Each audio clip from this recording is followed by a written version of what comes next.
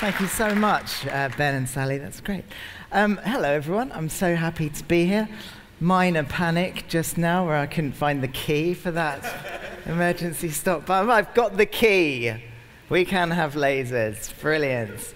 Yeah, so I love uh, old retro technology from the 80s. I think it's, uh, it's obviously it was a period of extreme growth in technology. you don't need the haze machine just yet, by the way. Although I do quite like. Oh, no, sod it. I'll just have, keep it on. It's good. I like it. And um, maybe pyrotechnics next time. Yeah, that would be good. Um, yeah, the 80s was a, a, huge period of growth for technology. Things were suddenly getting very cool. You know, microchips were becoming very accessible. Um, you know, which and suddenly we had computers. You know, which were in our homes. It was really cool. Obviously, fast forward to today, and technology is so much more powerful and incredible. Um, but sometimes it's good to just go back to the 80s uh, to kind of investigate what was happening at the beginning. Firstly, well, because it was really cool. But secondly, because it kind of gives us an extra appreciation for the amazing things that we've got now, right? It's pretty incredible. Anyway, quick warning before I, my, I start. Oh, my clicker. It never works. Come on. Oh, that's. Bastard. yeah, technology is great today. Yeah. Love it. You've got a clicker, haven't you? You've got a house clicker. Can I use the house clicker, please? Amazing.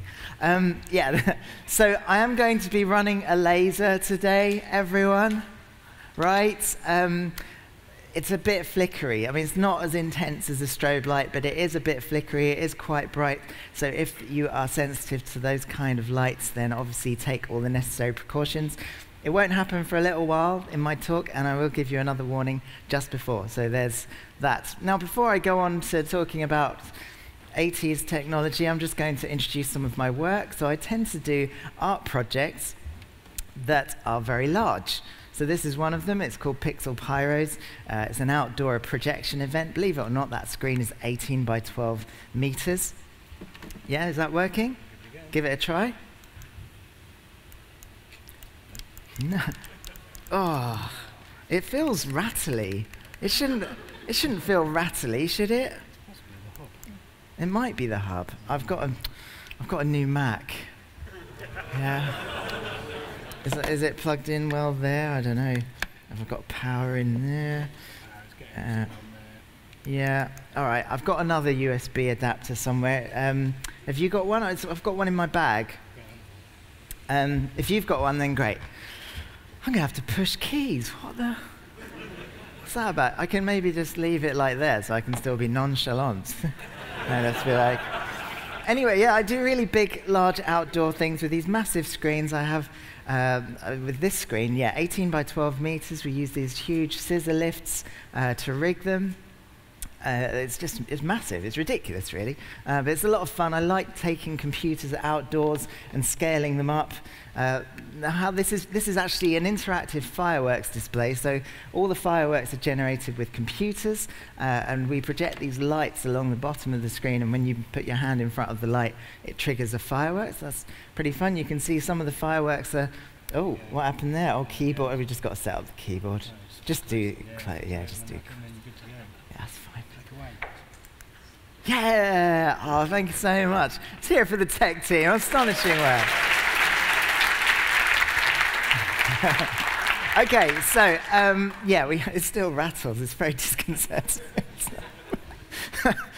I'm so easily distracted. Yeah, so you wave your hand in front of these lights and it triggers fireworks. It's pretty fun. Now, Pixel Pyros is currently in the Middle East. It's in Abu Dhabi. It's quite scary sending your projects out without you, but that's rather cool. Now, my team realized that I could actually find the site on uh, a webcam, right, which overlooks the site of the festival. It's down here?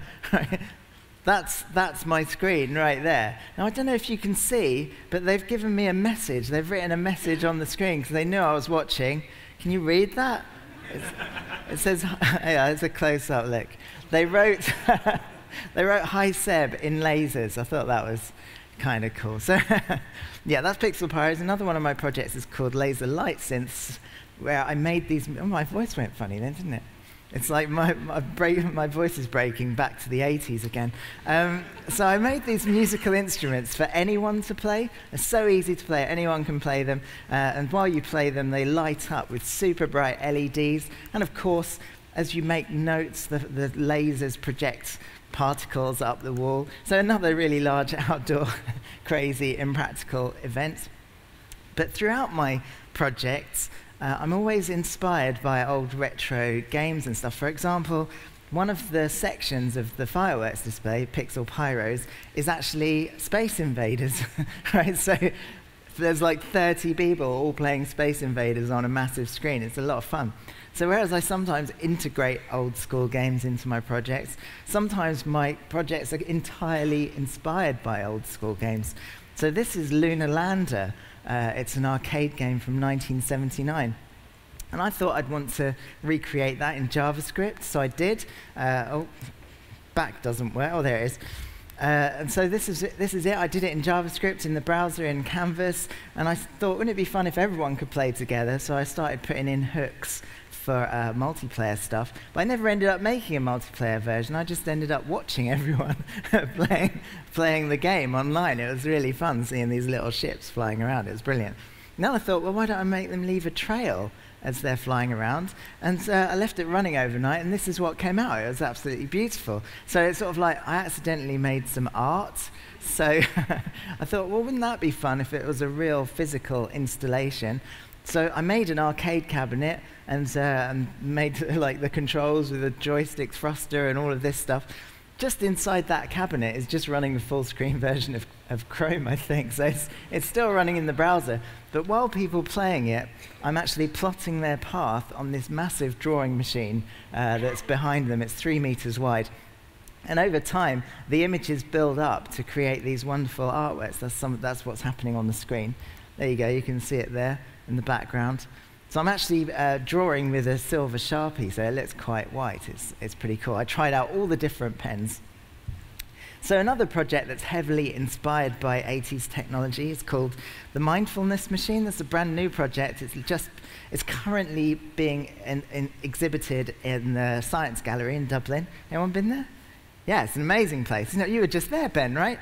Um, so the Mindfulness Machine, they've got an exhibition uh, about AI and, uh, you know, in the future of humanity being taken over by robots. So I thought, wouldn't it be fun to make a robot that enjoyed colouring in, right? Because we all, we all, you know, once, once robots get to be that advanced, they're going to need to chill out as well, just like us. And actually, we're all very busy. We lead busy lives. Often it's quite hard to fit in time for mindfulness. So, isn't it better just to get the robots to do it and then. Then we don't have to worry so much. So here's the, uh, here's the installation. It's got um, a camera and some sensors there uh, above it, so it can see what's going on around it. It knows the temperature and the, the co- color, the amount of light. It can see how many people are crowding it. Sometimes it gets a bit nervous or edgy because people are watching it. or sometimes it's happy. And depending on how happy or sad or stressed or stimulated or relaxed or energetic it is, it colors in uh, the patterns differently. So you can see it's quite happy there. Oh, that's a close up of the camera. Oh, there you can see this is me testing it at home. You can see it colouring in.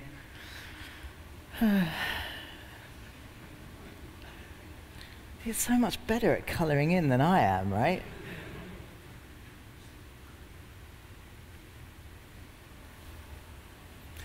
But sometimes it's in a bad mood. you can see, like here, when it was first installed, it was wrapped in black curtains to keep it away from the public. And it got in such a strop, it was just colouring in everything in black. right, so that's, that's that. But anyway, the, the plotter itself is actually a Roland plotter from the, the late 80s. Like, we don't see plotters in current day to day life because our pixels in printers are so small that you don't really need to draw lines. But back in the 80s, like, that was the only way to get kind of really high quality, high resolution, like straight lines, right? It was with actually a robot that just literally drew a straight line, right? So that, that's why, you know, I just love those old plotters, and I've got about four of them now. Um, I also had to make 3D print a pen holder, because obviously it's difficult to get pens from, for these plotters now. So I 3D printed one, so now I can just use the cheapest colouring in pens. They're like school packs of colouring in pens, like 288 for about 20 quid. It's amazing. You know, I don't know if you know this, but felt tip pens, like with modern technology, they don't dry up. Did you know that? Like these pens can be left with their lids off for like a month. 80s felt tips weren't like that, were they? It was literally you left it off for 20 minutes and it wouldn't draw anymore. Anyway, uh, moving on. So, yes, 80s technology. I love 80s technology. This is an Atari joystick uh, from the Atari VCS. I'll talk about that a bit more in, uh, in a moment. But I pulled apart an Atari joystick um, because, you know, I wanted to be able to use it with, with present day technology. But look at this circuit board. Like you don't see circuit boards like this anymore. I think this was probably hand drawn, right? Because it's like all these beautiful curves. It's like that's not done by a computer, is it? You look at circuit boards now and it's all it's all right angles and stuff. There's no curves in PCBs anymore. But look at this, it's amazing. So I don't know if you can see there, but that's a little Arduino I put in and bolted on. Uh, and so now this, this joystick's USB. I've got it here. We'll try it in a bit. Yeah, that'll be pretty fun. But yeah, so 80s technology is pretty cool. This is the first computer I programmed, a Commodore PET. that looks pretty cool, doesn't it? The computers in those days had a pretty serious attitude. They didn't really do anything. Like, pretty much everything you typed would be wrong. And there was no, there was no big, nice, shiny start buttons really, to get it to do anything, you had to learn to program. So that's what I did when I first encountered computers. I just learned to program them. And back then, everyone wanted to learn to program their computer. Really, that's why you got a computer was to learn to program it and maybe play games as well. So it was quite good because people thought, oh, let's play some games. Oh, let's do some programming. Let's type in this thing from the magazine that doesn't work. it's like, anyway, that's why you got a computer to do programming Let's look at some amazing 80s technology. It's the Atari VCS that I mentioned. Notice the joysticks there and then fancy paddles. This actually came out in 1977. Can you believe it? That's probably why it's got this, this wood veneer, wood, wood veneer. It's like sticky back plastic. But like, it really looks dated, doesn't it? But it's a cool, cool machine. And finally, everyone could have a games console in their house. This was a really new thing. Everyone loved their Atari VCS. This guy absolutely loved his VCS. Look at that. It's incredible. Then I'm not really surprised because he's got his 10 cartridge swapper right? He didn't even have to manually pull out cartridges and put them back in again. He could just flick a switch Look at that. Flicking switches. Anyway, what am I talking about even? Who knows? Let's look at some other 80s technology and their modern equivalents. So this is what we had instead of mobile phones. Uh, and this is what we had instead of Amazon. And this is what we had instead of Spotify. More wood veneer, of course. Here's the three and a half inch floppy disk. Uh, of course, in, in these days, it's known as the save icon. Um, but I absolutely love cathode ray tubes. You don't see cathode ray tubes anymore. It's pretty sad. Let's just pause for a moment to mourn the loss of the cathode tubes. I think actually they're not even really made anymore. I seem to remember seeing something that said the last factories have finally stopped making them. So it's actually going to be difficult to keep up all our old arcade machines with broken old uh, CRTs. But CRTs in the 80s were absolutely amazing. They were everywhere. The more CRTs, the better. We just have walls and walls of CRTs. And when we were kids, we would just gently irradiate ourselves in front of the telly. That was nice. Um, you know, I don't know if you remember the Ready Brek adverts where the kids had a glowing outline. It's just because they were in front of their CRTs all day. It wasn't anything to do with Ready Brek. Oh, I think about five if you got that reference. Okay. but nowadays it's more common to see a CRT in the, in the dump than being used, which is tragic because really their native environment is arcade, arcades, right? The, the, CRT, the arcades are filled with CRTs, glowing, beautiful, bright CRTs, and this is how a CRT works. I bet you wanted to know, right? I really need a laser for this bit. Let's have a look. There you go. Oh, that's a You know what? This, this screen doesn't show lasers very well. Mine's so big it doesn't matter. But look at this, rubbish. Okay, I'm going to have to wave my hands around. Okay, so a CRT is a vacuum bulb of glass, right? So there's a vacuum inside there. There's like a cathode here spitting out electrons. They are attracted to this here because that is got the other side of the electricity on it. So the electrons want to all go out to the screen here. They're flying through the vacuum. They want to, they're attracted to this phosphor screen. But they'd just be going in all directions except for these magnets, these electromagnets that are energized, and they squeeze the beam, they squeeze all the electrons into a tight beam. And depending on which of these magnets are stronger or weaker, it moves the beam around. And when the beam hits the phosphor, the phosphor glows up. That's magic, isn't it? Amazing stuff. So this is how a traditional scanning CRT works. The beam goes from left to right and then turns off and goes back to the left again and turns on, does another row, and it's basically getting brighter and darker. So where it goes bright for a little bit, you see a white pixel, and where it goes dark, you'd see a black pixel. And obviously with uh, RGB CRTs, it gets even more complicated. I don't have time to explain this one. Some of our favorite arcade characters were first rendered with CRTs. Here's Mario, of course. Anyone recognize this little yellow dude? Of course, that's Pac-Man. Why not?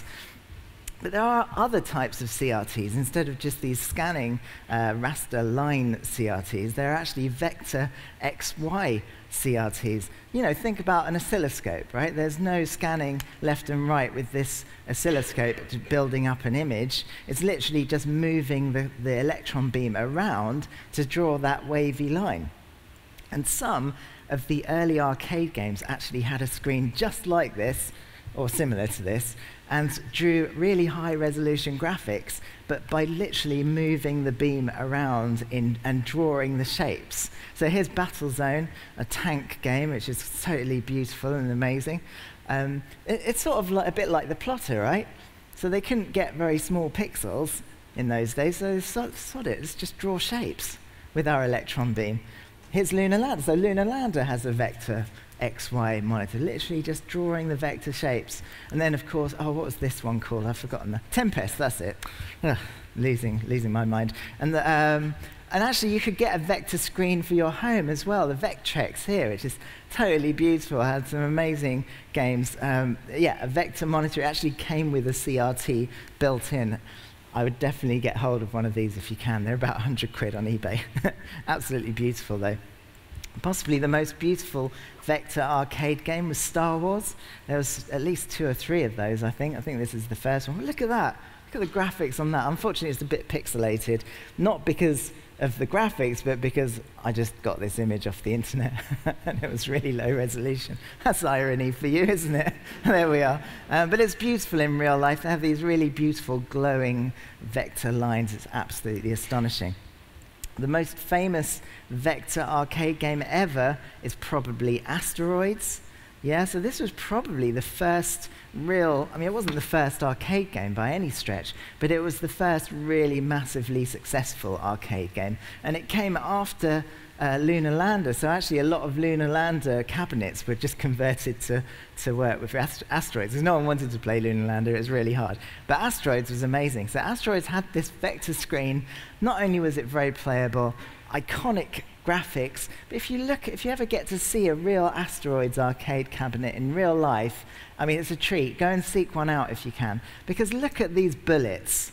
Like, look how bright they are. They're absolutely beautiful and bright, glowing bullets, and it's because I think that the uh, electron beam just lingers there a little bit longer than it does when it draws the other shapes. Either that, or they just put loads of power in it and they don't care. But as far as I know, they just sort of linger there a bit longer, and it makes these really beautiful, bright bullets. Obviously, it's quite difficult to recreate that in modern day emulators like MAME. Like, here's what Asteroids looks like in MAME. That's pretty rubbish, isn't it? Look at it. What are pixels? You don't want pixels in asteroids. Oh, so beautiful. oh. Wow.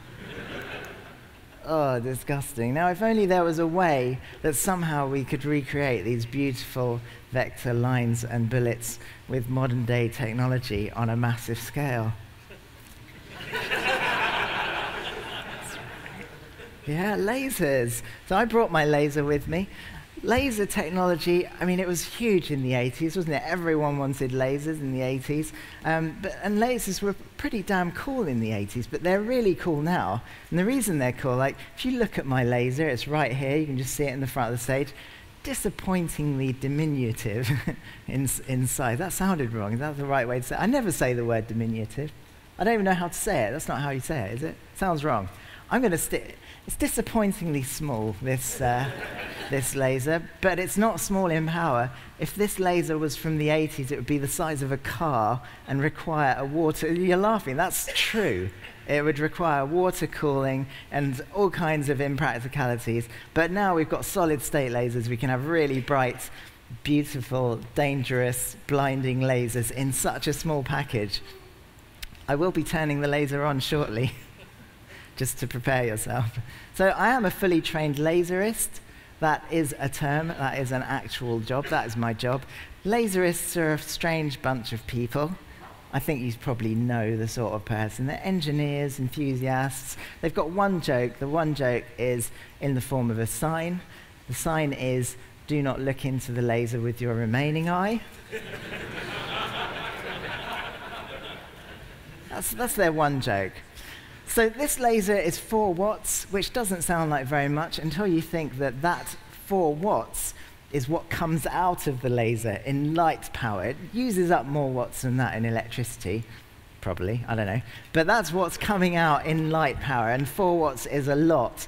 If you compare it to a standard laser pointer, which is half a milliwatt, right? So this is like 8,000 times brighter than a standard laser pointer. This is the laser we take with, with us on Pixel Pyros. This one's 11 watts. All right, that's properly scary and amazing. But yeah, I love lasers. This is how they work. So there is actually three lasers in this.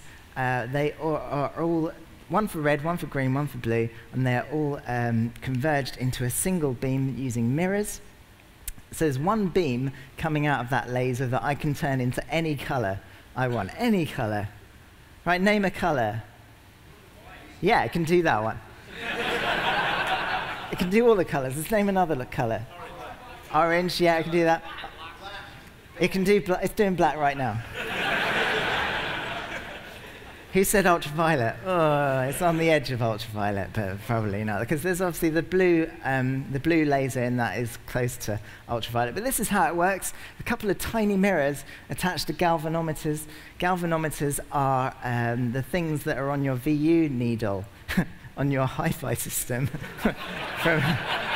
I'm going to need a modern reference. I don't know. You've seen it on old films and stuff. You know, the little needle that's, that's going up and down, I don't know, in olden times. That's what a galvo is. It's like a sort of, it's got an electromagnetic coil and stuff. Uh, you energize the coil and it moves. You de energize it and it goes back again. So you can see the first mirror hits that the first, oh, sorry, the beam, the laser beam hits that first mirror, which oscillates that way and moves the laser uh, left and right.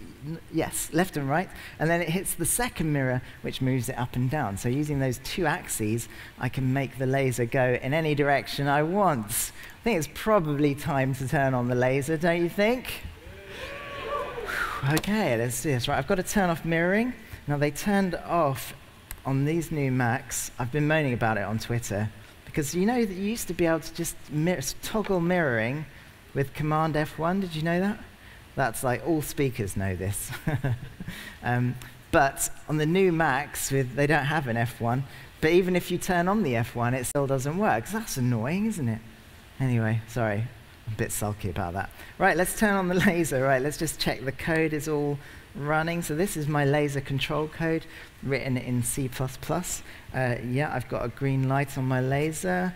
Or it says laser armed. That's good. Right, so I'm just going to release the key. Fingers crossed. I should just say that this area on stage is the laser exposure area.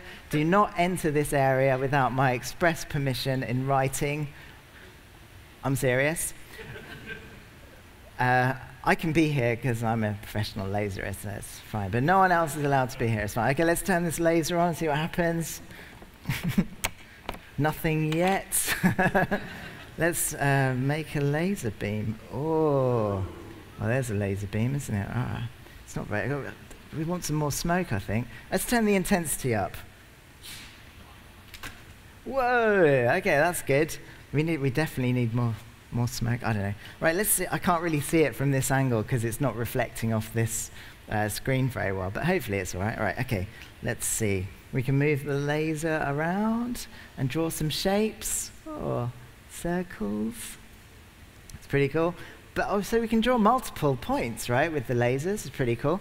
So it just moves to the first point, then switches off, and then moves to the second point. Oh, there you go. Oh, that's what I'm talking about, right? Laser harp. Like Jean-Michel Jarre over here, right? You just need bleepy sounds. That was very dangerous, by the way. Don't do that. Uh, okay, so um, so yes, how's it doing these little separate beams of light? There's only one laser in that. It's making these five beams of light. So it's moving to the first point, turning on the laser, then turning off, moving to the second point, then turning back on again. So it's doing it so fast you can't even see it. That's pretty cool, isn't it? Oh my God, this haze is incredible. I feel like I'm in an 80s rock band or something. It's incredible. Finally. Okay, so let's think about how we would start to create asteroids with this laser. There you go. So I've made a little ship. I'm just literally drawing around. I can, I can control him with my. Oh, look, I can drive around. That's really fun. But of course, the most important bit is can it do the bullets in that beautiful, bright way? Whoa.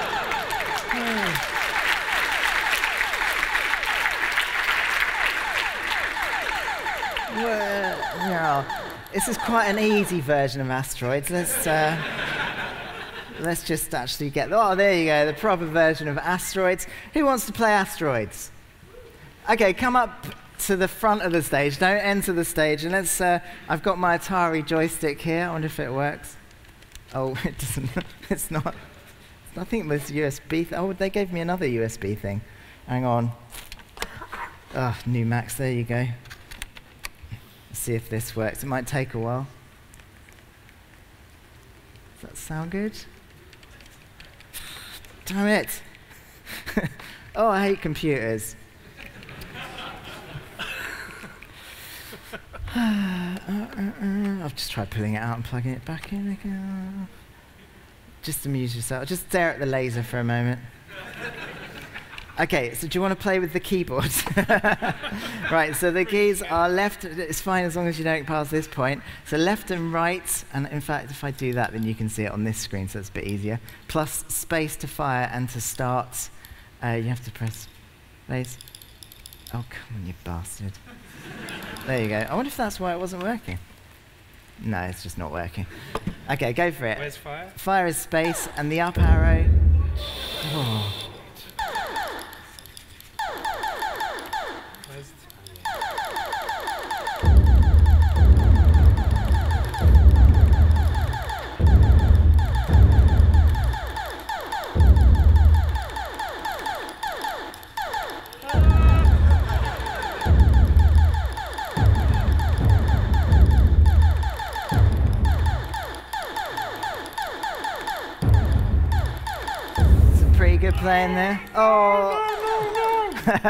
What's your name, by the way? Russell. Russell. Wow, Russell's doing pretty well, isn't he? Just a couple more to get. Just the last one. Get the last one. No, there's only one. You'll get it. Come on. Come on. Come on. You're nearly there. Nearly there. Come on. Come on. You're so. Let's hear it for Russell. Nice job. Thank you, Russell. So, um, obviously my laser control code is, I've been working on it for quite a while and it's quite complicated because I need to figure out the sort of optimal path in which to draw all these things. So I'll just show you how that works. Let's just uh, make a few uh, bullets and stuff. Let's just freeze time for a moment. Now, I can actually turn on the laser while in between. You know, I told you it turned off to move to the next bits. I can actually leave the laser on. I can make it flash red while it's moving between them. Uh, so if I do this, then you'll see that the path that it has to take. And, and if I unpause it, you'll see that it's constantly having to update that path. Any computer scientists here might recognize that as the traveling salesman problem. Yeah? Yeah, geeks in the house. Okay. All right, so um, let's just slow down the laser so we can see more effectively what it's doing. So you can see it, the path that it's moving. Oh, there you go. Yeah, so now you can see it's a single beam, right? And of course, at this intensity, that single beam is actually quite dangerous. When I was testing it at home, I accidentally burnt my wall a little bit.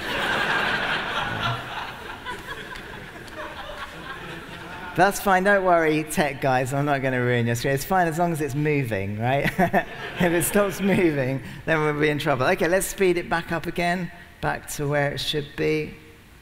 Takes a while to catch up, come on. Come on, laser. There you go, right, so we're back up to, to speed.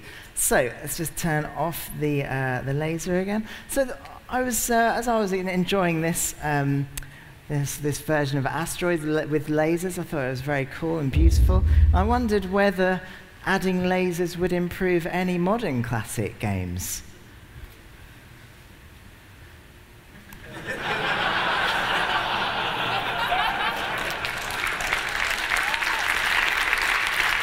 okay. Flappy Bird, ladies and gentlemen. So, of course, Flappy Bird uh, is fiendishly difficult, and this version of Flappy Bird is no different. Although, like me, it does seem to uh, respond very well to applause.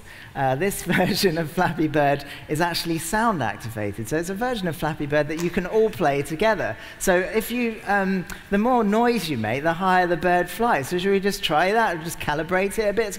Just make, make lots of noise and try and get the bird to fly. Whoa. Okay.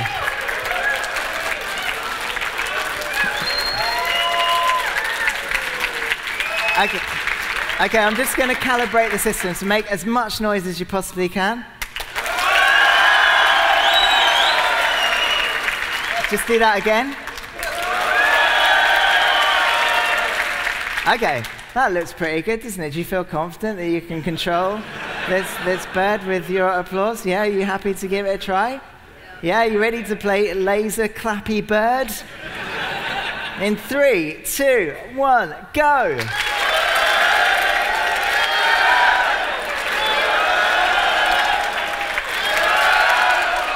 Oh. Wow. It's not, that's not bad. That's quite a good start. I should just say that I did this, uh, this demonstration at a girls' school last week, aged 10 to 16, and they got seven points. So uh, let's just see how you respond to that little thing. Okay, go.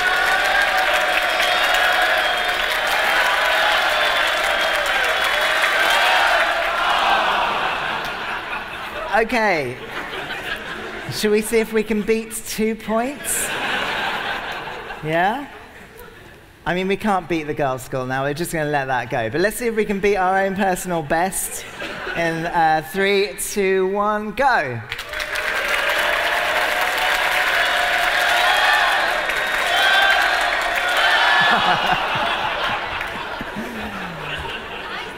wow, excellent. Okay, cool. Well, I'm running out of time, and I've got a whole extra section of my talk, so I'm just going to turn off the laser temporarily. Oh, don't worry, I'll come back. Don't worry, it's cool. I just I pushed the button, everyone. Let's hear it for the button. It's cool. it's really funny actually, because when I first started working with lasers. Um, I was very excited because I didn't own a big laser then, and, and the, uh, the AV company we worked with, LM in Eastbourne, they brought their big 11 watt laser, and they dutifully handed me this big emergency stop button. And like me and all my fellow crew members instantly started Instagramming it, right? and they just thought we were crazy. Anyway, um, back to my talk. Okay. Right. Uh, yes. This is stole. Everything's stole. I can just. Oh, what's going on? 80s technology was, even my keyboard isn't working. okay, that's, uh, okay, like, I want to talk about the uh, Nintendo Zapper gun. I don't know if some of you remember it. It was from the late 80s. Uh, it came uh, with the Nintendo, the NES. Oh, it's just not. Here it is, the NES. You can see there with the Zapper gun. Huh? Duck, yeah, absolutely. Duck Hunt is what uh, I'll talk about that in a moment. But first of all, let's just look at the NES and all the incredible peripherals you could get with it. Look at this ROB. What was it? Robotic Operating Buddy or some other cheesy acronym? Possibly the worst peripheral ever. Looks cool, actually quite shit. all it does is sort of picks up these discs and puts them on thing. I don't even, no one, no one understands it. Forget Rob, the rubbish robots, because the only peripheral we care about is the Zapper gun. Yeah, so it's a Zapper light gun, came with duck hunts. Look at this blurb here. Uh, the astonishing light sensitive Zapper gun lets you shoot moving targets with pinpoint accuracy from up to 16 feet, which is pretty clever because the lead's only 8 feet. not quite sure what, what happened there. Obviously, the marketing people got a bit excited. But anyway, um, yeah, so it came with Duck Hunts um, and Mario Brothers. So this is Duck Hunts. You see the little dog there. He jumps over the fence. Everyone hates him because he laughs at you. Uh, and then the ducks fly up, and you start firing at the ducks with your Zapper light gun. And if you hit them, they fall down. And if you don't, then, oh, look at, oh. Everyone hates that dog. Everyone loves Duck Hunt, though. Look at this some retro pictures of people loving Duck Hunt. That's really cool. Some people love it so much they dress up their kids as, as Duck Hunt characters, or even themselves, which is genuinely a bit scary, or actually permanently mark themselves with pixel art. Why the hell not? So, yeah, these are the zappers. Um, I bought one, in fact, I bought a couple off Amazon. This is what's inside them. They're actually quite simple and wonderful bits of engineering. Um, because you'd sort of think a light gun kind of has light coming out of it, but actually it doesn't. This is just a light sensor, and you can see there's a, a lens at the end that focuses the light, whatever it's pointing at, through there, through that there, which is actually just a weight right? Just to make it feel good. But it's got a hole in it, so the light goes through to this light sensor here, a bit of electronics, and there's the switch and all of this stuff, and another weight there, you know, just to give it a nice balanced feel. It's really cool, very well designed. Oh, I keep clicking, that's not going to work. So how did it actually work? So we've established that it's not producing any light, it's actually just looking at light. So what happens when you're playing it? Well, here it is, you're playing the, the game, uh, the duck flies off, you point your gun at it, and when you pull the trigger, I don't know, did you see the flash of blackness? Yeah, so let's just pause it, rewind it a little bit, so we can just have a, another look at that on my VHS recorder, I recorded this earlier. So you pull the trigger, everything goes black, completely black, just for one frame. There you go, like that. So that calibrates the system. The gun knows that it should be seeing the darkest it possibly could be seeing. And then a white square appears where the duck was. So the light sensor checks to see if it goes black and then white, then it knows it hit the duck. That's pretty cool, isn't it? Yeah, so you pull the trigger and it tells the screen to go black. It sees the black, then if it sees a lighter color, it knows it's hit the duck. Amazing technology. Unfortunately, it doesn't work on modern TVs. Sad emoji. Modern TVs and emoji. Present day technology, amazing. But yes, they don't work on modern TVs because they should work on modern TVs, but because most modern TVs are digital, there's a, short amount of processing that needs to happen before the image is displayed on the screen, and that little tiny amount of latency stops the gun seeing the black and the white flash in time, and it just doesn't work. So it's sad because we can't use the guns unless we've got a CRT, but it's good because it means that there's loads of them for sale there for us to take apart. So I got a light gun, I got a couple. First thing I did was put a laser in it.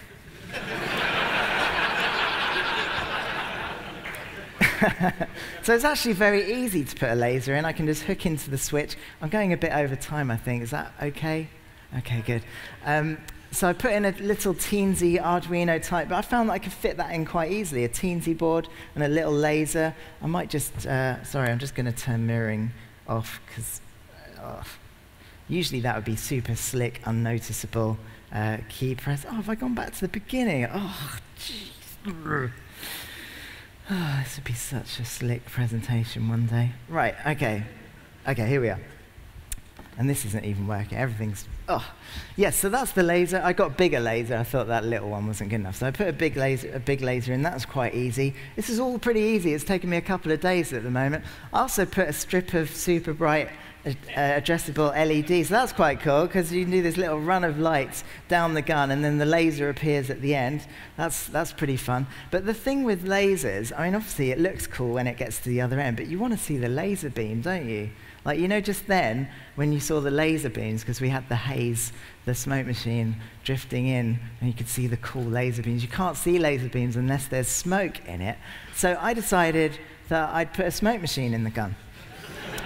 So I figured out how to get. Um,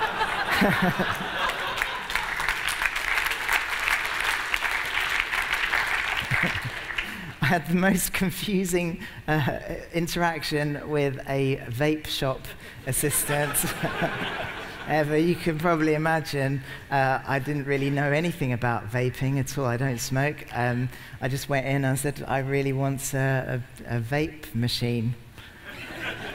And they were like, well, what, how powerful do you want it? I don't know, it just needs to be small. Honestly, it was ridiculous uh, interaction. And they were like, what flavor do you want? I don't want flavor, it's fine. And they were like, well, what, what, what's, I mean, how much do you smoke? And I was like, I don't know, I just want it for a laser gun. um, it didn't really work. So this was, that was the first uh, vape uh, atomizer that I got. But then I realized you could get these little disposable ones that are even smaller. They're the size of an actual real cigarette. And I, I don't know if you can see that, but that bit there, the yellow bit, the, the virtual filter, that's the entire vape machine in that. The rest of it that would traditionally be tobacco is actually just a battery. So I could take the battery out and power it a different way, and I'm left with that tiny thing at the end. That's a smoke machine by itself. You can see I'm pushing something into it. That's actually uh, an air compressor a tiny little air pump. Um, for, it's generally used for um, aquaria or, um, or like medical devices for blood pressure or, uh, I don't know, drips and stuff? I don't even know. Anyway, I managed to get some really small ones that fit into the gun. But then once I realized I had to fit all that stuff in, uh, I realized I had to sort of rip apart all the other stuff in the gun. And I had to custom make a PCB. Uh, so this is CNC milled PCB with surface mount components. I, my first attempt at surface mount, which was really fun and amazing. Detail work is so, oh, I love detail work. So I put all that together. I finally got a gun with a smoke machine in, and you can see now that like you can fire the gun, and you can see the laser beam coming out the end and you can see the bit at the end. Oh, it's just amazing. This did take about three months, by the way. so this is the final uh, laser gun. You can see at this end, the business end, as laserists call it. you see the laser there. Uh, you can see, obviously, the wires going in. That black thing there, that's the, that's the tip of the uh, atomizer, the e-cig. Uh, obviously, there's no nicotine in it. You can get, I actually make my own vape liquid now. There's a whole community of people that make their own vape liquid. The recipe for my vape liquid is uh, vegetable glycerin, and that's all. that's it. Uh, okay, so you can see a little 3D printed like pipe that goes from the end of the e-cigarette bit into the air pump there.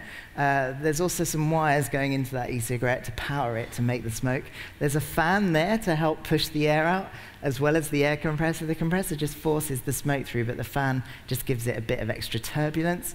Uh, then those wires go out to the top. Uh, the switch, I'm using the original trigger switch, uh, but these wires go out to the outside of the gun. That does the lights. Uh, and then here's the custom PCB with a Teensy, and all of that stuff goes out there. So that was cool. I got a laser gun to work, but how would I use it to play duck hunt? Well, I needed to figure out where the laser was hitting the wall so I used an infrared camera. It just so happens that the laser that I was using was cheap enough to leak infrared light, which is great because my infrared camera can see it. So it means that I can just using a laser pointer and a camera, I can see where a laser is hitting the wall, and then I can project the shapes and the path that it takes with my big laser, which the infrared camera doesn't see. So you can see, oh, I'm writing my name. Oh, bless. So this was my first attempt to sort of track where the laser was hitting. That's pretty fun, isn't it? And then later I realized I could laser a little explosion onto the wall with my big laser. it's quite effective. Um, the internet really loved it. That was, that was my Twitter activity. It's kind of embarrassing because I hadn't really finished the project. I just, you know, I, what everyone always does when you're working on putting a laser into a bit of 80s gear, you just tweet it all the time, right? And most people are like, oh, yeah, cool, Seb. You don't expect it to get that sort of level of uh, traction, do you? Anyway, so I did it just in time for the Brighton Digital Festival launch. Here's my friend James uh, playing with the light gun, a version of Asteroids. He is just losing it. That's, oh, it's Jamie and James. Jamie's the one on the on and the further back, and he's oh, he's loving it. But look at this. You can see the laser coming out. One of them's playing asteroids with the joystick, and one of them's playing it with the gun. Oh, it's amazing.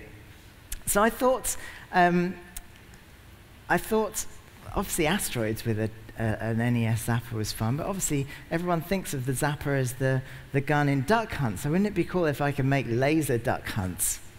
Yeah, so laser ducks, right, which you're shooting out with a laser. Now, Asteroids is quite an easy game to recreate with a laser because it's vector graphics. It's already designed for a laser. But Duck Hunt, it has all pixels.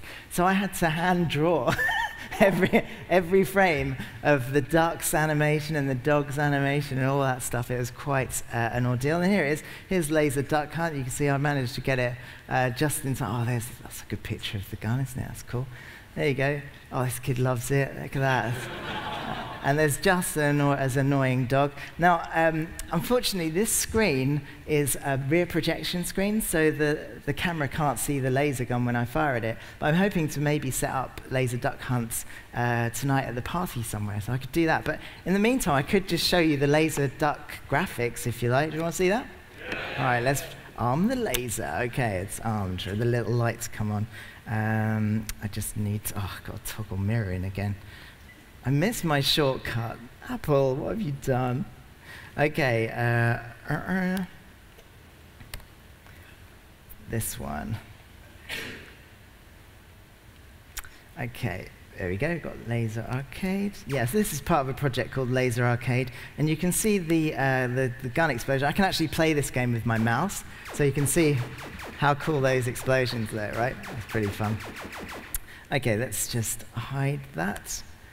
Uh, asteroids, Duck Hunt, Laser Duck Hunt, there you go. So I can probably play it uh, with, with my mouse. I might have to just turn that on so I can see what I'm doing. Sorry. Uh, okay, here we go.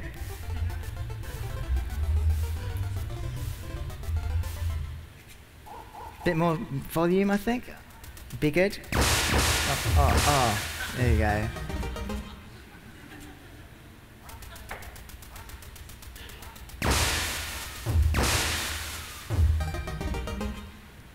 So I try and miss it. I'll try missing and see him. Oh, oh I hate the dog. Anyway, um, yes, yeah, so I'm hopefully going to be setting that up somewhere at the party tonight. Laser duck hunts, excellent. So, I've totally run out of time. I suppose I should have a slide like Mattia. Huh? Oh, no, I'm, I'm pretty much. I've got loads more stuff, but I haven't got time to show you. I haven't. I've run out. I've run out of stuff. I've run out of stuff. I've just run out of time. It's, a terrible, terrible problem. Um, but yes, so I suppose I could have a slide like uh, Mathieu that says why on it, right? that was it, wasn't it? It said why. Um, laser duck hunts. That's why.